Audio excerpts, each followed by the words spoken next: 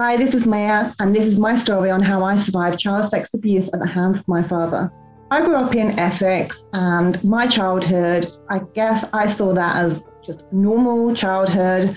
I was the spoiled little princess. I was the one who, you know, got everything that she wanted. My relationship with my mom when I was a child was very dysfunctional. Um, I craved her attention. I craved her love. Um, she was always very cold. It was maybe around, if I remember, age 10 or 11 when I realized that this normal father daughter relationship didn't feel quite right anymore. He used to still bath with me. And I remember having a conversation with a friend and was like, oh, yeah, my dad baths with me. And the response was quite, oh, okay. that's not normal. He would run a bath when I was getting in from school, and then I'd get changed and I'd get in the bath, and he'd get in the bath with me and be like, Yeah, let's share some time together. This is, you know, father daughter time. Mum was either out of the house or it was at the evening times where she used to go out to play bingo with her friends. And at the time, you know, when you're 10, you're 11, you start to question what's normal, but you're not going to go out and speak to anybody and be like, hey, do you bath with your dad? So my father used to always say to me, you're so beautiful, you're so pretty, you could be a model, and let me take some photos of you. And the camera was always in my father's hands. I used to wake up every nearly nearly every night on the sofa and there'd be a cartoon playing and my dad would be crouched down beside me and he would just be stroking me and touching around um, my, my navel area and stroking and I'd wake up and I'd be like, "Oh, I'm so tired," and he'd be like, "Hush, hush, keep watching the cartoons." It was it was naturally inbred into me that you know, Daddy loves you so so so much. He cannot live without you. You know, you, just it was just never even something that I would consider or contemplate talking about or sharing with anybody. Because also when you've had, you know, when I had the reaction from my friend that, "Whoa, that's not normal," instantly it was just like a natural shame on me as like, "Oh my god." And so instantly, you don't talk about this ever again. My father was so obsessed with me and was so protective. It was normal in everybody's eyes, including my family. So for him to sit outside my school when I was at school was completely okay. He was known even by my friends at school, your dad, the white van man, because he was always around. And I remember being at school and, and he'll just drive up and down, up and down. And I'd be out on lunch break and I'd be like, oh, and my friends would be like, oh, there's your dad again. And in, internally, it would eat me alive because I knew what I was going home to. He would say, like on a Sunday, oh, come on, let's pop out for McDonald's. So we'd go out in the car, in the van, and he'd say, oh, yeah, there's your McDonald's. And he'd touch my, my leg and he'd touch me. And I'd be like, you know, and he'd say, Well, you know how much I love you. You know that if anything ever happened, like if you ever spoke to anyone or you was ever taken from me, I'd kill myself. My father was known as the, the, the crazy man, the one that's like the possessive one, but he was also known as the one that helps everybody. And he focused that more around the the single women. Everybody loved him, but everybody would also say he's a bit strange my father intensified around the age of 13. I wanted to go out. I wanted to be with my friends. I wanted to party. Whenever my friends would say, Oh, are we going to, you know, do you want to stay over at the weekend? I was desperate to be there. So I'd go home to my dad and I'd be like, Look, dad, I want to stay at so and so's house tonight. And he'd be like, Yeah, that's fine, but we just have to have a quick bath. So when you're at that age, it's like, Okay, I really, really want to go to my friend's house. I'm going to have to have this bath. I have got no other choice. So when I got to the age of 14 to 15, I was going out and I was partying and I was going off to secret clubs. And I just remember coming home um, the day after I stayed at my friend's house and my dad saying to me, what did you do last night then? And I was like, oh, we just chilled. We watched a movie. We had snacks and we went to bed early. And he just gave me a really strange smirk. And he was like, okay, yeah, here's a cup of tea. Like, chill out. You look really, really tired. And from that cup of tea, I would just sleep. So in the evenings when I used to come home from school, um, I'd have, he'd always make a cup of tea. So after I'd had my, my cup of tea, I'd black out. But ironically, even though I was having these deep sleeps, I was always extremely tired. I moved out of my home around the age of 15 to 16. Um, I was working after school um, in a call center, but his, his his obsession for me never subsided. So he was always sitting outside my flat. One morning I was going, um, I'd, I'd, finished school at this point, so I left school and I was working, as I said, in the call center, and my car wouldn't start. And I was like, damn it, I'm, I've got to get to work. And instantly, the, the first thing to do was ring my father. And he was around the corner, eight o'clock in the morning.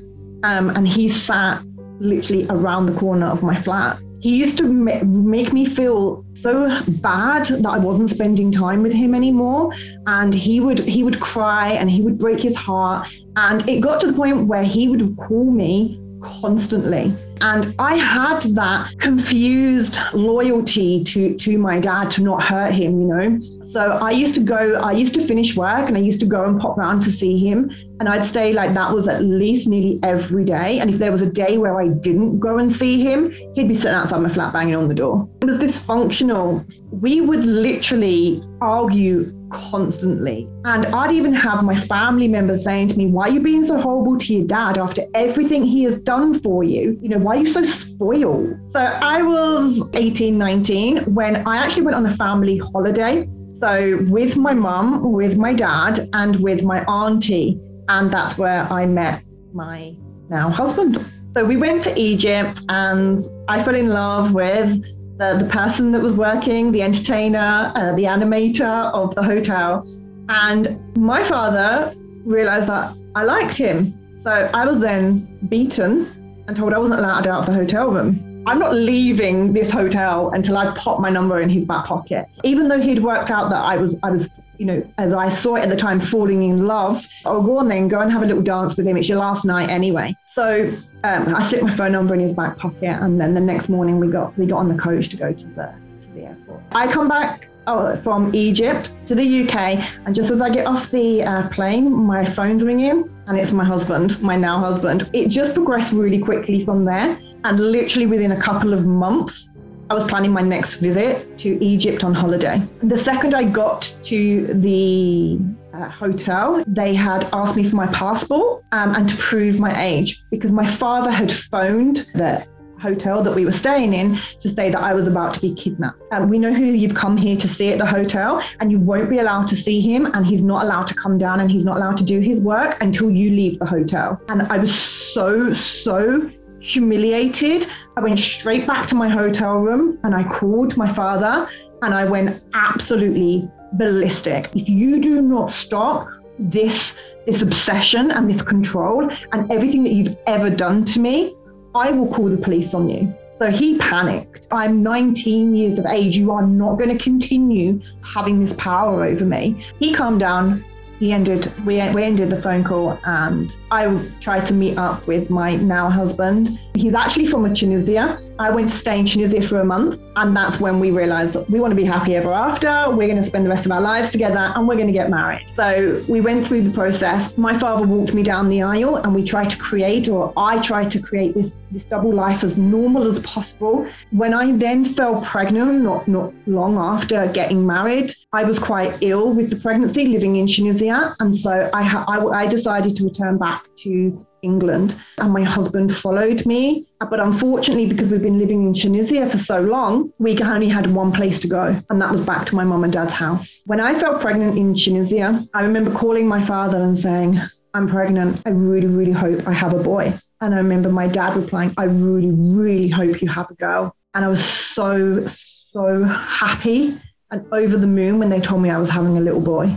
So I returned back and my husband come over. You know, unfortunately, when I when I gave birth, I had a very traumatic birth that left me with right leg paralysis, so I could not walk. And so he and my father cared for my child. And my husband was getting very, very concerned about the way my father would override my husband when it came to, you know, trying to care for our child. And it didn't take very long for them to end up in an extremely loud and aggressive argument where my dad said, It's my son. And so we moved out of that home. But my husband is very much a, a cultural family man. He's brought up in a, a beautiful family home. His parents are amazing. So, regardless of the arguments, my husband would always say, you know, the, that's still your family. That's their grandchild. You know, we still have to be involved with them. And so what would happen was I would take my child at least once, two, twice, or three times a week to go and visit their grandparents.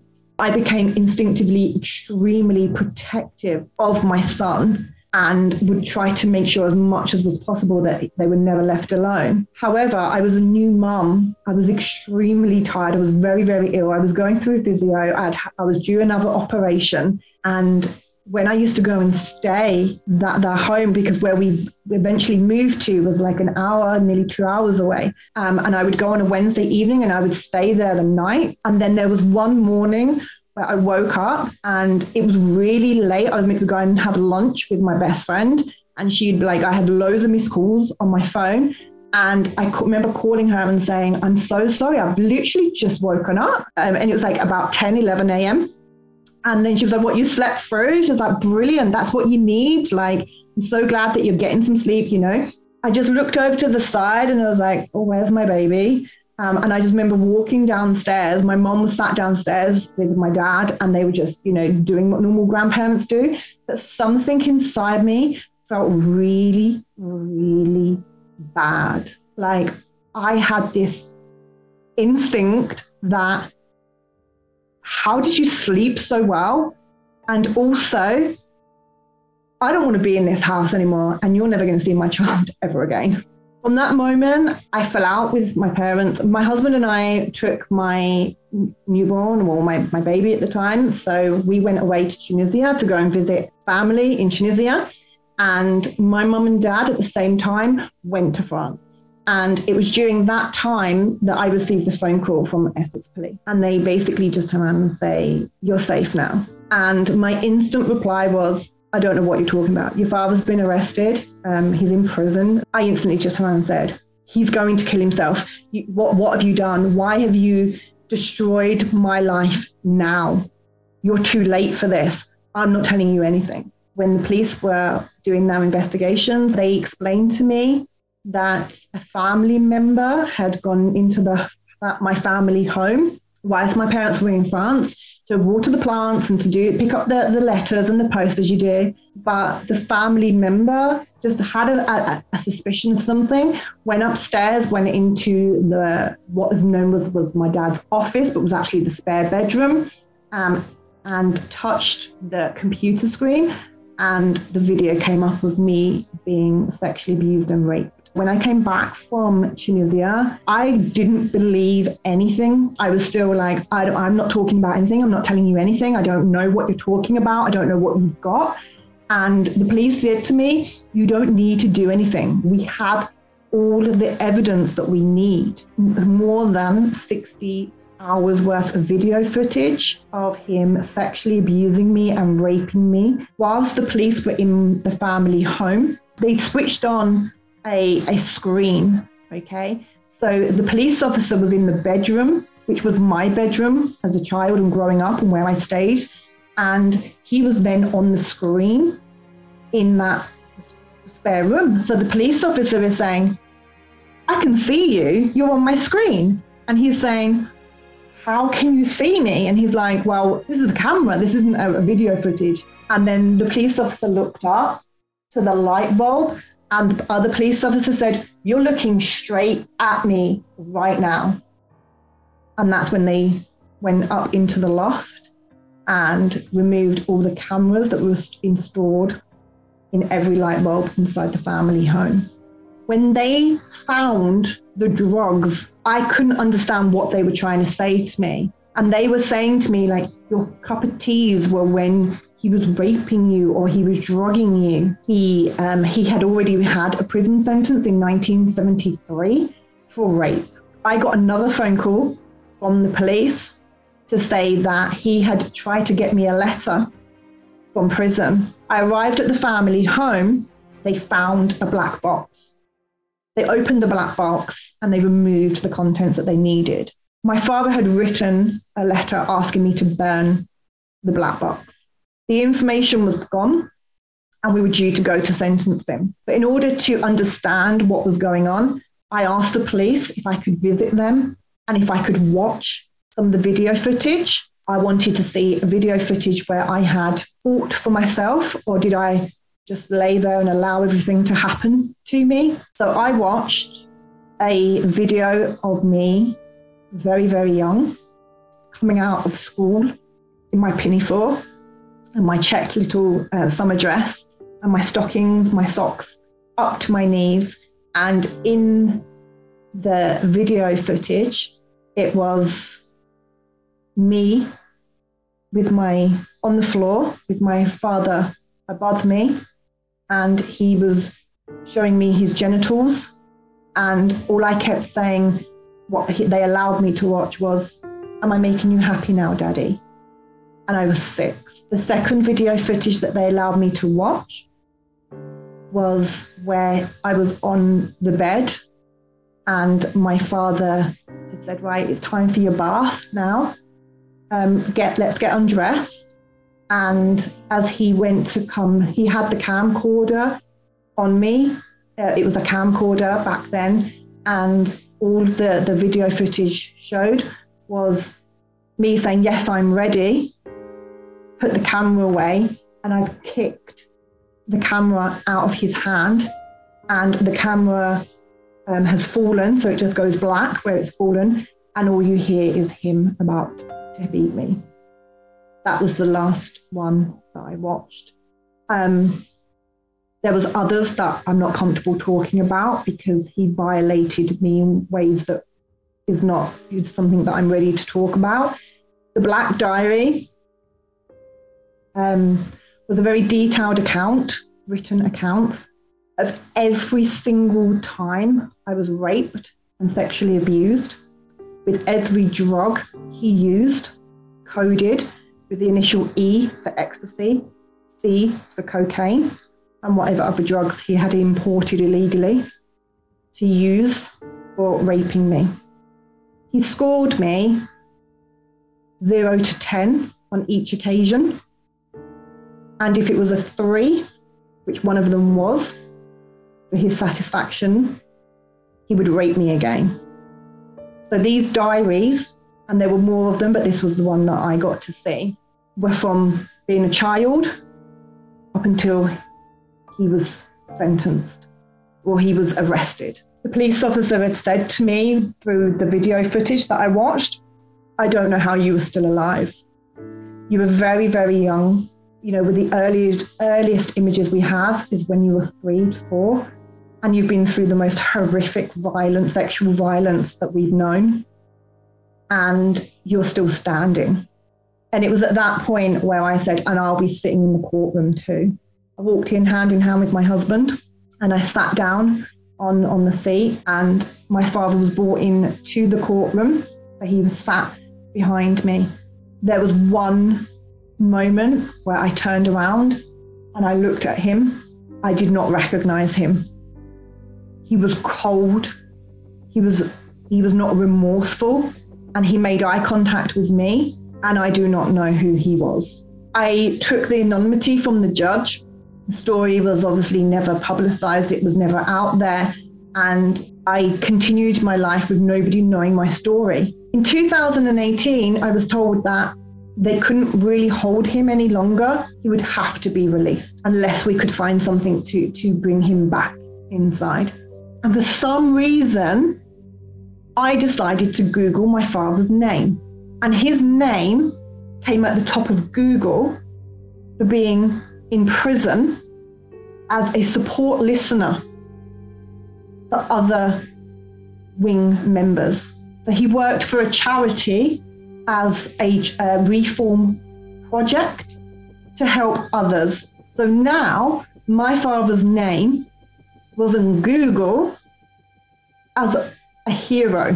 But what people didn't know was he was a sex offender. I'm going to waive my anonymity and I'm going to show the world what this man is about because you are releasing him from prison whilst I have to suffer the life sentence. I contacted the journalist and said, I have a story for you. And from there, the story went went national, it went viral. And the, the, the comments and the love that came pouring in and the support that came pouring in, it took me months to accept that and not accept the shame and the stigma and the silence. And it was only when I was awarded my British Empire Medal from the Queen in 2020 that I knew I'd made a movement, I'd made a legacy. So I work in education sector now, and I'm working with, you know, um, young young people from the ages of 12 up to 16 who have never spoken out. When you see news of sexual offenders, you very rarely see the survivor's story. And that's because of the shame and the stigma and the silencing and the grooming process. We deserve a platform, we deserve to be heard, and we deserve to speak out, and we deserve to heal. We are expected to be failing in education and in life. We're supposed to be on the streets, we're supposed to be homeless. So the more we can highlight and show that we can, we can be a success. Don't just put me in your little box of statistics of how I should be. Then for me, that makes the difference. And for those that are suffering or are worried about a child, know that no child will disclose necessarily verbally.